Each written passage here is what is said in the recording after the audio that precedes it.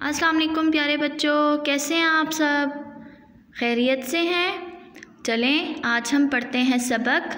अच्छी बात। सब बच्चे सफ़ा नंबर निकालें। सफ़ा नंबर है एक सौ सात।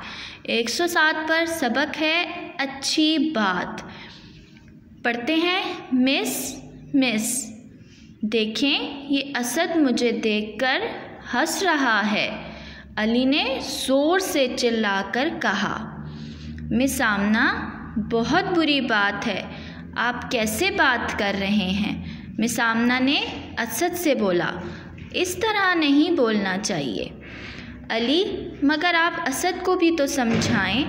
मिस आमना हाँ असद, आप अली को देखकर क्यों हंसे? असद, मिस, में हंस नहीं रहा, मुस्कुरा रहा हूँ। हमारे दादा जान कहते हैं कि मुस्कुराना भी नेकी है। मिस आमना आपके दादा जान ठीक कहते हैं, मगर इस अंदाज से मुस्कुराना कि दूसरा समझे, आप उसका मज़ाक उड़ा रहे हैं। ये ठीक नहीं है। असद, मैं इस बात का ख्याल रखूँगा। मिसामना देखो बच्चों, बात करने के भी आदाब होते हैं। हमें इनका ख्याल रखना चाहिए। कौन कौन से आदाब होते हैं बच्चों? नंबर एक, बात हमेशा नर्म आवाज़ में करनी चाहिए। नंबर दो, दूसरे को बुरे नामों से नहीं पुकारना चाहिए। नंबर तीन, किसी की बात काट कर अपनी बात नहीं करनी चाहिए। नंबर चार, बात अच्छे अल्फाज में करनी चाहिए।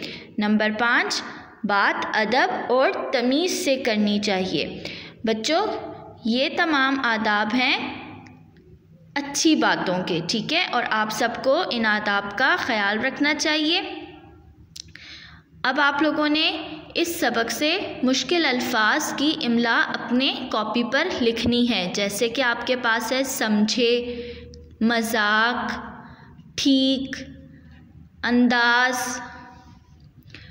हमेशा नर्म आवाज़, अच्छे तमीज़, इन सब अल्फाज को आपने अपनी कापियों पर लिखना है और इस सबक की अच्छे से पढ़ाई करनी है। ओके बच्चों, अल्लाह हाफिज़। अपना बहुत सारा ख्याल रखिएगा। घर पे रहें, महफूज रहें। अल्लाह हाफिज़।